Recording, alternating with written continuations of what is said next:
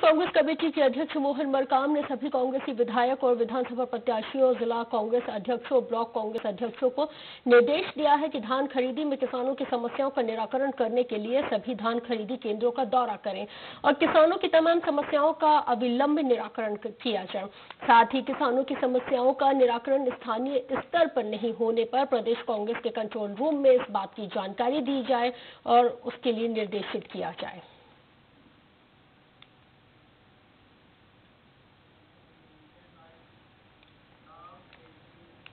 नगर पालिका